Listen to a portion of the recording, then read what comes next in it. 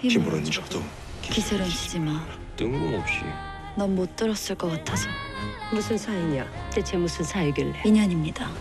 답이 됐습니까? 팔자 뒤집어 버린다고 했지. 그래서 이 썩어 빠진 세상 바로 잡아. 나 죽을 힘을 다할 거다. 상대가 아무리 너라고 해도. 성세를 다스리는 건 문이고 만세를 뒤엎는 건 무다. 칼의 시대가 올 것이다. 대체 뭐가 그리 당당하십니까? 내 마음 같지 않은 게 세상이다. 아픈 기억은 눌러 있는 것이 좋다. 엮었으면 끊으라고 했다. 난 분명히 말했고 흘려들은 건 너야. 행수는 그리 살았으니까. 모든 건 너로 인해 시작됐다. 입은 닫아 막는 것이 아니라 죽여 막는 것이다.